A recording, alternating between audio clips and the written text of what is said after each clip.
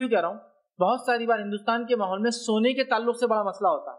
सोने के ताल्लुक से मसला ये होता है कि एक औरत का जब निकाह होता है तो ससुराल की तरफ़ से कुछ सोना दिया जाता है या चढ़ाया जाता है। बहरहाल, जो भी अल्फाज आप लोग बोलते हैं, सोना चढ़ाए। और चढ़ाए बोलते लगता है कोई तो जानवर है मतलब कोई मतलब देवी, देवता या कुछ होता है ना इसको भग माँगता, चढ़ाए मतलब ऐसा अजीब वगैरह। बहरहाल, चढ़ाते या देते, जो भी टर्म्स यूज़ होता है तो देते हैं। तो ससुराल से आता है तो मैके से भी लाती हूँ अपनी वालिद की तरफ़ से, वालदा की तरफ़ से। लेकिन एक प्रॉब्लम वहाँ पर सोने के ताल्लुक से ये है, वो जेवरात का कभी उस खातून को मालिक नहीं बनाया जाता है। वालिद अपनी मिल्कियत के दावेदार रहते हैं और इधर ससुराल वाले भी अपनी मिल्कियत के दावेदार रहते हैं। कभी ऐसा होता है कि ससुराल वाले वो जो जेवर दिए शादी में निकाल लेते हैं और अपनी बेटी को दे देते हैं मतलब इसकी ननन को दे देते हैं। बोलते हमने तुमको शादी के लिए दिए थे। तो मिल्कियत होना ज़रूरी है। तो समझ लीजिए